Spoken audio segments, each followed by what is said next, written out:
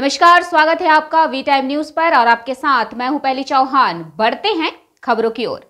National Anti Corruption Operation Committee of India, NITI Aayog, Bharat सरकार के द्वारा नवादा ज़िले में बिहार गौरव सम्मान समारोह कार्यक्रम का आयोजन हुआ।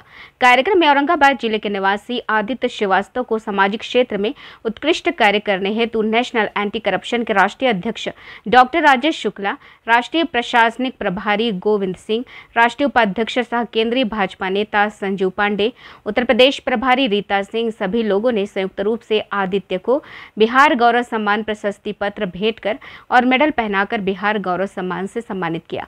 राष्ट्रीय अध्यक्ष राजेश शुक्ला और राष्ट्रीय प्रशासनिक प्रभारी गोविंद सिंह ने बताया कि आदित्य हमेशा सामाजिक क्षेत्रों में अपनी सक्रिय भूमिका निभाते रहते हैं। हमेशा जरूरतमंद लोगों को मदद करने का काम करते हैं।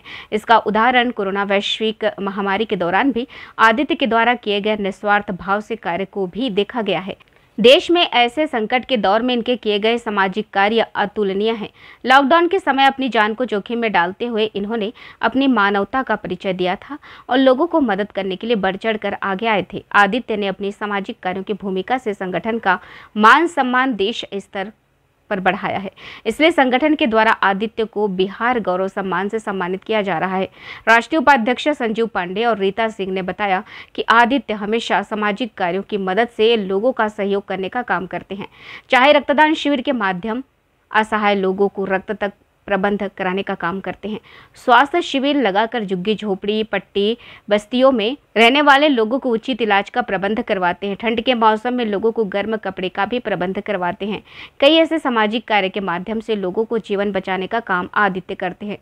यहाँ तक कि आदित्य अपने माध्यम से वैसे पीड़ित परिवारों को भी मदद करने का काम करते हैं, जिनका आवाज़ों का दमन विभागीय अधिकारियों के द्वारा किया जाता है, उन्हें भी न्याय दिलाने का काम करते हैं।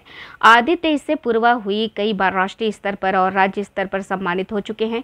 यह हम सबके लिए हर्ष की बात है। वही आदित्य को शुभकामनाएँ देते हुए ओम प्रकाश, रणवीर सिंह, सुमित सिंह, खुशबू सिंह, रागनी प्रिया ने कहा कि आदित्य को बिहार गौरव सम्मान से सम्मानित होना यह पूरे ज़िले के लिए गर्व का विषय है। हम सभी युवा वर्ग को सामाजिक कार्यों के लिए आदित्य से प्रेरित होने की ज़रूरत है।